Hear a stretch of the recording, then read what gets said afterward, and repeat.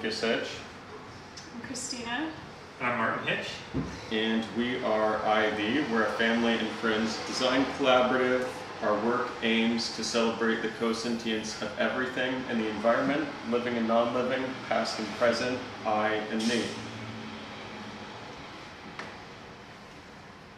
We've been working on these proposals for Compound Yellow, which is a um, nonprofit located here in Oak Park. We're here in at the kind of Compound Yellow studio right now, and we were approached by Compound Yellow to put together a proposal for um, an event structure or a community, um, a, a piece of art or a stage that would kind of engage the community while also facilitate some of the music program that uh, the organization does here in the side yard.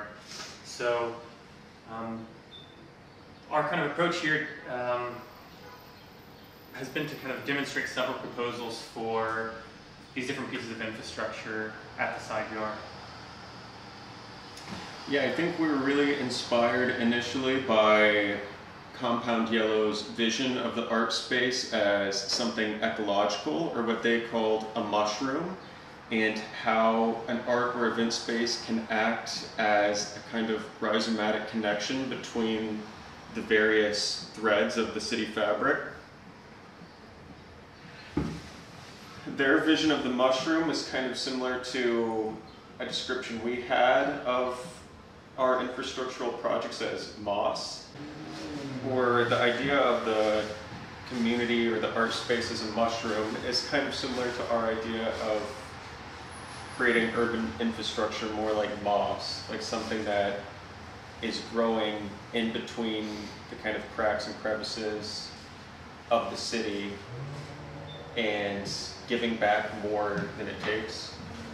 I do think that there's something interesting about the mushroom as like mycorrhizal thing that's connecting multiple things. I think that's what they initially reached out to us to say, and that did remind me of urban moss or this idea of urban infrastructure as something that can happen bottom up rather than something that happens top down and imposes a kind of use onto a community. Yeah, I mean, I think even like the way the side yard is used echoes echoes that, right? Like you talking about that, the way that the moss kind of like, what you fills like the cracks in the community. It's like I feel like that sort of echoes, like you said, the kind of compound yellow vision, but then also the vision for what a structure in the side yard would look like and like what's it to facilitate. On one hand, a space to facilitate concerts and it's this side yard sounds program. On another, it's uh, you know seating infrastructure for barbecues in the side yard, and it's also a curiosity for school students that are walking past. You know, what I mean, how many times while we've been here have we seen like somebody, like a group of kids, chained together, hand in hand. You know what I mean? That are like gawking at the chickens or curious about you know what's going on in the side yard. It's like I feel like the programming of this. I mean, honestly, even being here more than we were imagining it. Like as much as you can kind of imagine how it spills out into the community and the model, like seeing what how much of how much spillover there is between the side yard and the community and the street and you know what I mean like the public I think is like the most unique thing about the side yard as a site for sure we were kind of originally asked to put together a proposal like we said for a stage structure for a space for kind of community gathering and seating and infrastructure. Um, and kind of in thinking about what that would look like, we'd never been to the site. We weren't particularly familiar exactly with the organization, and so we were invited out this week. Uh, there was an opening in the gallery space here, and so we kind of started brainstorming in parallel to how we could fill the space, to how we could fill the gallery space, and what we could do kind of as a community event while we were here for the week, and we really thought it would be important to have community input because the organization Compound Yellow is so focused on serving the community and sort of the way that its programming relates to Oak Park and to Lake Street. Like, we really wanted to have a space for community input, and so we kind of did a lot of brainstorming as to how we could engage with community members and even engage with members of the organization, kind of as we were developing these projects. And so a lot of what the show kind of becomes is almost like a behind the scenes look at our process as well. And so we were working on our own on these models that we kind of used to ideate these concepts. And we were thinking, if we have this gallery space available, if we know we want to have feedback from the community on these spaces, what if we kind of use the opportunity to come into this gallery and to present the ideation process to the community and present, uh, kind of facilitate kind of a town hall where we're able to show our ideas, but also see the space and engage with people who are part of this community and who are involved with the organization and see some of the organization in action this week as well. Yeah, and part of the idea behind the exhibition and behind what we've produced is that we've kind of started brainstorming and started this process of ideation. And in the gallery itself, we'll have templates available for anybody who visits to draw or sketch out their own ideas and visions of what the space can be. And they'll be invited to pin them up in the gallery alongside our own ideas. And once the gallery is over on July 29th, we'll collect all those ideas and compile them into a booklet that we will then um, kind of take into account as we develop the final design for the side yard. I think in all of the proposals, something that was really important to Compound Yellow and to us was to create these different levels and spaces for people to interact with and to try to create a variety of experiences for users, places for people to seek out and find and to adapt to their specific needs for that day and to find a, to, to seek out these different areas of comfort on the site. And that's the idea behind this weaving path, which weaves around the site and around the trees and through the various buildings on the compound to shape these various spaces around the tree, um, around itself to create the stage, and around a fireplace uh, that then has this kind of iconic uh, balloon. And the idea here is that um, as the night starts, the balloon will be deflated and the community or people will start a fire. And then as the fire grows and as people grow and come around the fire, this hot air balloon will slowly inflate into a heart which sends a message of love and peace to the community and beyond. I think kind of across the board with the proposals, especially knowing that we would be presenting these kind of as models as part of this gallery show, we kind of began to give ourselves permission to sort of explore a variety of levels of complexity and feasibility and conceptual uh, I don't know, conceptual. A big, a key word for everybody, I think, was imagination. Yeah, trying definitely. to not hold ourselves back with what this could be in the most mundane and then in the most spectacular Yeah, exactly. level.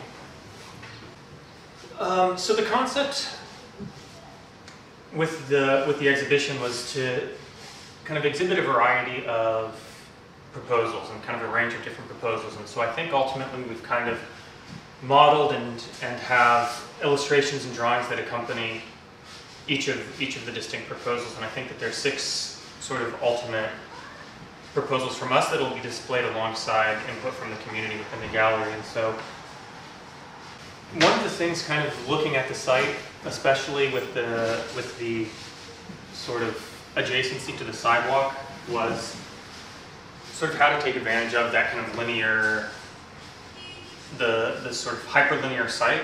We we knowing kind of that there was an interest from the organization to have these kind of multi-level experiences and platforms for kind of a range of interaction models, kind of using this sort of hyperlinear kind of winding streetscape sidewalk that wraps through, um, that kind of wraps around the site, interacts with the trees, kind of um, almost kind of explodes that kind of linear site element of the sidewalk into something that becomes um, sort of multi-story and kind of uh, accommodates a variety of kind of interaction models across the site.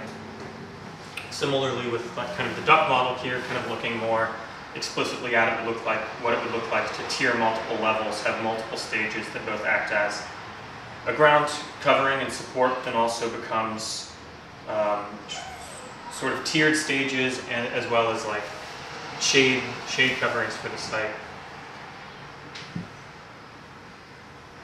Another kind of model that we were exploring was how the community themselves could become a part of the experience of constructing a model on the site as well, and so exploring more um,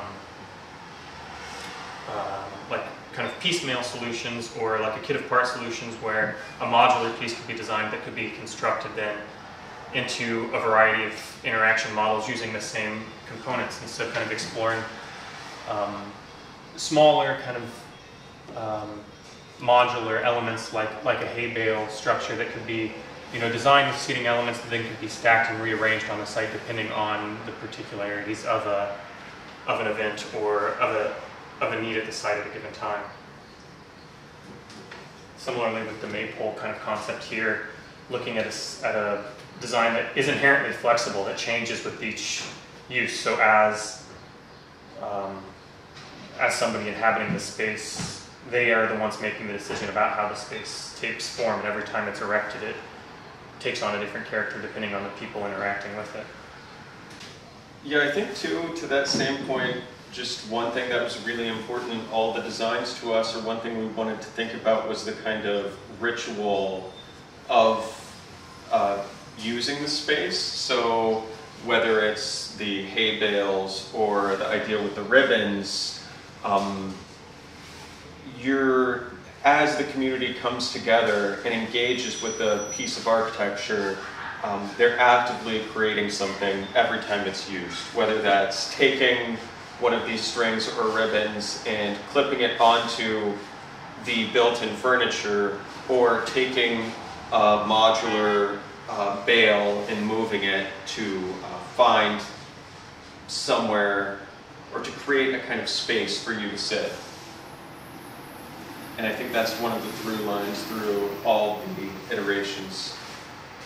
I'll say too, I think that there's sort of, you know, Compound Yellow from the beginning was really, uh, I think they were like looking to kind of capture a sense of playfulness and joy and even silliness in some instances of how they view the organization and how the organization exists within the the community, and so kind of looking at, um, at ways to kind of introduce a bit of kind of joy into whatever this structure is as well. I think it's important, sort of as being the site is so public that I think that there is such kind of a visual visual interest inherently with what's happening happening at the site, and I think any way that the the structure at the side yard here could aid to that sort of visual interest and joy and excitement in the space. Um, and we really wanted it to draw people yeah. in, so to engage with the sidewalk and the context, but then to break or expand the sidewalk so that people feel invited to step into this space, whether there's an event happening or whether they're just passing by yeah. on an afternoon. And with both like the, the heart concept and the ducks, there's something too about this kind of inherent understandability of the iconography of the form. You know, the heart and the duck are kind of two different instances of a form being sort of deconstructed into its most basic symbology, almost like it's like drawn by hand or drawn by a child. And I think that there's something really interesting about that too as it relates to the projection of compound yellow to the community as well. There kind of being this iconography around these elements as well. I kind of, you know, imagine. I, I, know just from conversations with Laura too, there's lots of conversations around sort of what does Compound Yellow do or what does the side yard program do, and, and I think something like this adds